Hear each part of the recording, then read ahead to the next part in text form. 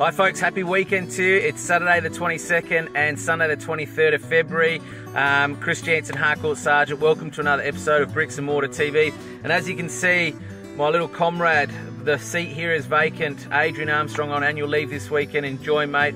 Um, well-deserved break. And um, yeah, it's a bit different doing these videos on my own. But quick market snapshot. What's happening right now? Well, it, it continues to be that the four-bedroom, two-bathroom, two living area homes are categorically the most sought after home right now.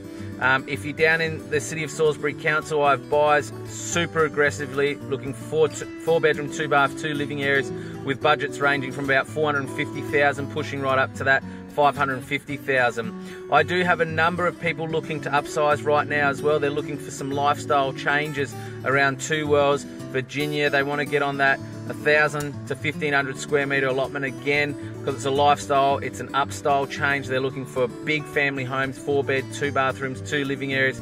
Um, those people that I'm working with are looking to spend around four, uh, sorry, 550,000 right up to around that $700,000 mark. Moving up the hill, the same applies there. Four bed, two bath, two living areas, buyers with budgets aggressively looking around about that 500 to 650k are ready to cement their plans into 2020 and secure that, those homes. You know, it's funny, I was talking to a buyer today and uh, we had a home that was three bedroom, two bathroom, two living area, and the irony of it, this buyer needs four bedrooms, yet they made an offer on the property. Why is that? Um, and I asked that question of the buyer, and he said, "Look, I missed out on a home of recently. This is a big three bedroom, two bathroom, two living area. Um, there's some flexibility with the floor plan. I might just have to make it work if successful because really the reality is there's not much for me to choose from as a buyer out there that has an established four bedroom home right now. The next lot of buyers, I've got developers slash investors aggressively on my books looking for large parcels of land with an established house on it. Doesn't matter of the condition. These buyers are looking to spend around 350 to 450,000 and they don't mind something, folks, that needs a bit of love and attention. They're happy to get in there, sink their teeth, renovate it and develop it down the track, ideally one into two more ideally one into three titles. They're factoring their margins on the end game. So if you've got a neglected home that needs underpinning or a lot of love or it's been a tenanted property for quite some time, I've got people that are happy to take the home in whatever condition it is right now. The properties that are struggling, um, unfortunately, units continue just to have modest to no growth.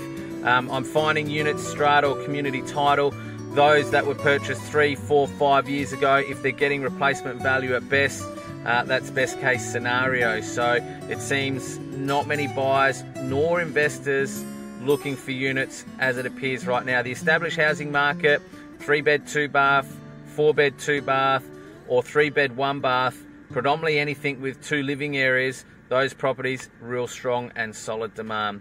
Thanks for tuning in, folks. Have a fabulous weekend. Superloop V8s are here. Enjoy it on Sunday. And uh, the weather's cracking. We couldn't ask for better.